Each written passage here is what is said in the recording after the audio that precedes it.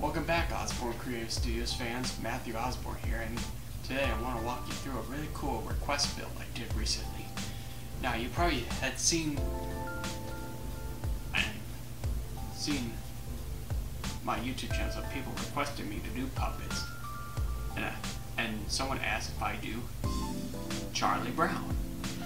On the side note, side note here, someone did ask me do Spider-Man, but I found out that with all the variety of colors that Spider-Man's suit wears, I thought that would just be a little too complicated to build. So he said, instead, why not just do uh, Charlie Brown? So I am, so I just put it to the test. So anyway, let's jump into the build. So for starters, I am actually going to be using some standard size puppet pads. I'm using the body pattern and, and I'm using the body pattern from another main tutorial series I made called the medium shake which is from my Monster series. You can check that out on my YouTube channel too. And also it has my Guide to Puppetry 1, in my Guide to Puppetry 101 book, in case you want to make a monster series like that. So anyway, I just simply trace the foam out and then start cutting it out. As always, after when I cut it out, I use some contact cement to glue this on. And, and you must be in a well-ventilated area when using this because it creates fumes and the fumes are not healthy for your lungs. So anyway, I just glue all around the edges of the head and I just begin putting glue on the body. Then as always, after when the glue is tacky, then I simply apply pieces together for the head and body too. And, and here I am just doing the fabric covering. Then a couple things that stood out to me making this puppet. One was the clothing, which I was going to figure out how I was, I was supposed to do it, but you'll see in the video on how I did that after when I get all the fleece body from head to toe finish. Then I just, then after when I get done tracing the first step, I flip it over and then trace it out again and then cut it out. Always, after when I get done tracing it, and I just cut it out with some scissors. As you saw, I was stumbling with the tracing because it kept my table kept moving. But once when I get it cut out, it'll it'll be fine. And as always, I pin it first, pin all the pin the darts together first before it. Then after when I pin the darts together, then I stitch it up on my sewing machine. Then after that, then I move on to the other seams. Make sure if you're sewing this on a sewing machine, to make sure to have a, some seam allowance before stitching it on, because and also make sure that you use, you use safety pins because so that way your puppet can come together very evenly because if you take it out of the sewing machine, it's not going to look pretty. It'll look uneven. And as always, I use plastic for my mouth plates. And I touch them up with some sandpaper just to get them so that the glue can so that they can secure the glue And here's the most, and this is the most tedious part of making the puppet is the foam hands. Is making the, or I mean making the hands for the puppet. And here I am using a different hand pattern. And this is the hand pattern for from a tutorial that you may be familiar with, the fried frog tutorial. I thought this would be the right size for Charlie Brown shape since Charlie Brown has a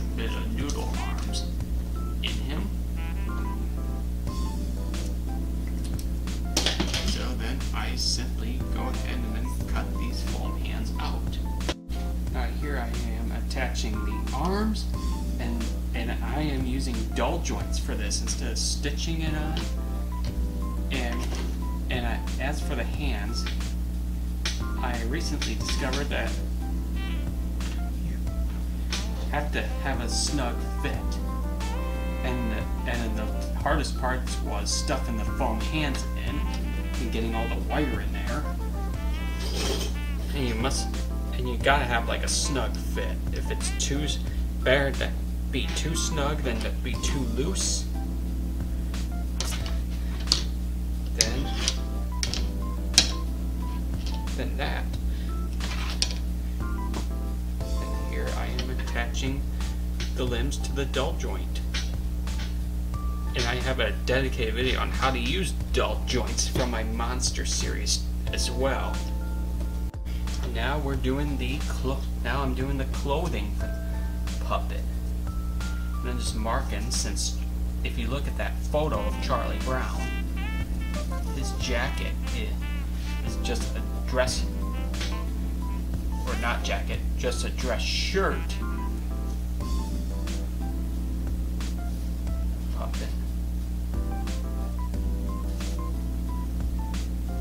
And then I just simply trace it out.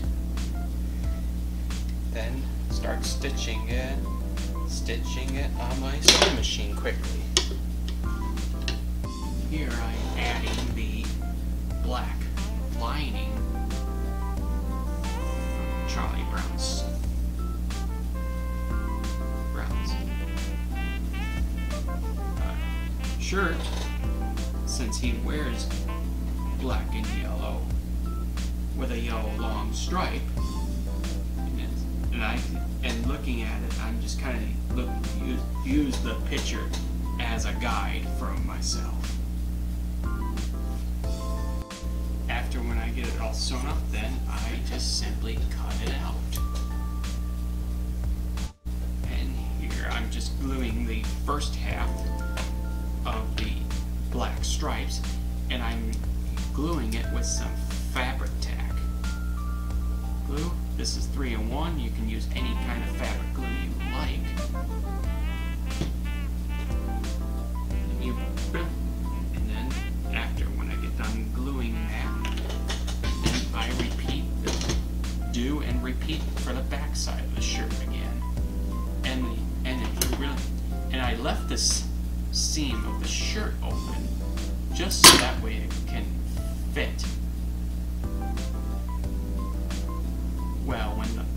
Finished.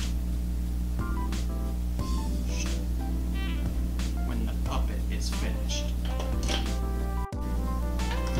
Here, I'm just fitting it onto the puppet. Just putting it on the puppet. Fitting it onto the puppet.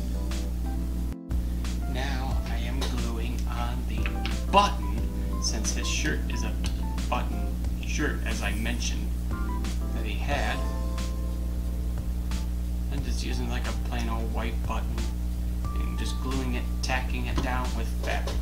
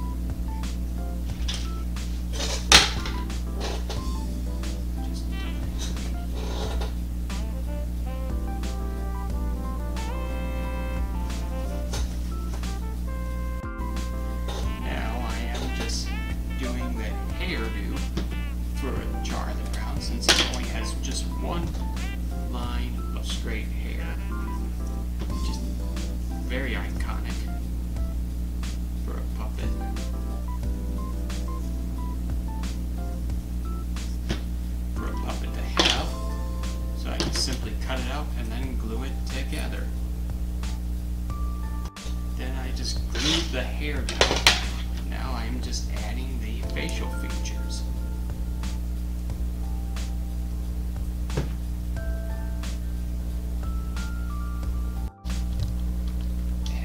And here he is. And here he is. I think you came out really good.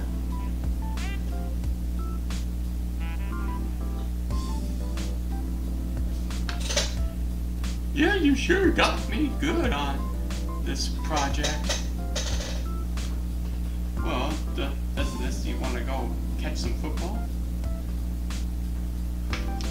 No way! I will land on my back and you'll make me land on my back and I'll kill myself. Oh, brother. With this design, I think he came out pretty well, too. A couple things I would have changed is I would have used, like, actual brown hair, brown felt, felt. I would have bought a yellow shirt like that off the rack and just simply just draw the lines on with a Sharpie marker. But after all, I think he came out well. Let's go do some football. No way! You'll make me lay on my back and kill myself! When I run at the football, you'll pull away and I'll lay on my back and kill myself! oh, brother. We'll see you next time.